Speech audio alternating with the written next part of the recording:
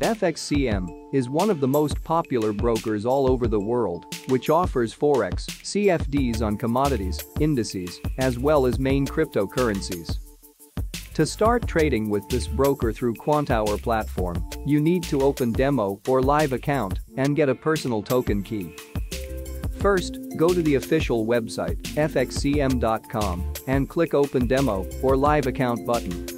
Also, you can click on the Launch Platform button, after which, the authorization window will appear. If you already have an account, please log into the system. Let's create a new demo account. Please fill in the registration form and press the Submit button.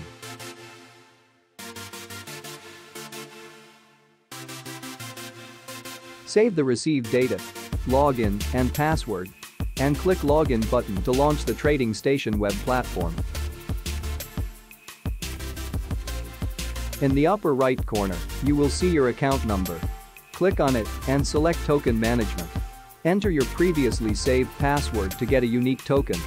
Make sure to copy personal access token now because you won't be able to see it again.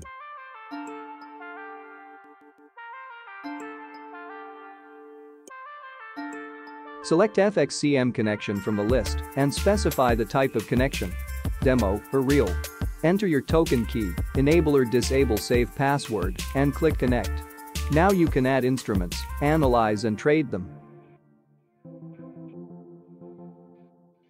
Thanks for watching. For more information about other features, please subscribe to our YouTube channel or visit our website, quantower.com.